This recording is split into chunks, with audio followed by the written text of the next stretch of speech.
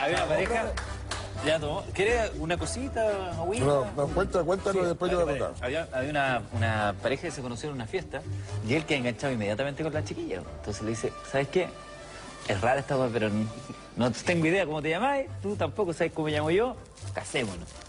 Le dice, pero ¿cómo se te ocurre que nos vamos a casar si nos acabamos de conocer hace cinco minutos? O sea, claro, efectivamente me gustáis, hay un atractivo físico, pero ¿cómo nos vamos a casar? Ah, da lo mismo, que no nos conozcamos, nos vamos a ir conociendo con el tiempo. ¿Estáis seguros eso pasa? Pero se pasa cada rato. Casémonos al tiro y nos vamos conociendo con el tiempo. güey. Puta, ya, me caso. Y van y se casan, pues. Al tiro de ahí afuera, está justo había un cura, los casó. Justo iba pasando afuera de curita. Y al lado, justo había una agencia de viaje. Mira, entonces van y, y contratan la cuestión y se van de luna de miel. pues. Al, al otro día estaban de luna de miel. Estaban en Cancún, en la playa, todavía no sabían nada.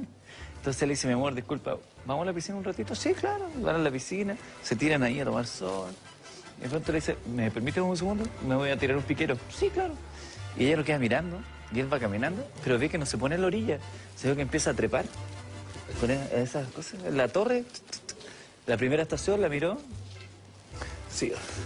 Segunda estación.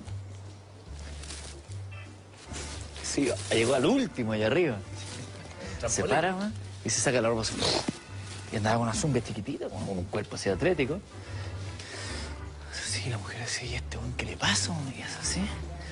Se lanza, una vuelta, dos vueltas, tres vueltas, abre los brazos, aletea, se da otra vuelta, flip-flop, se re- retrocede un poco en el aire, luego vuelve a caer.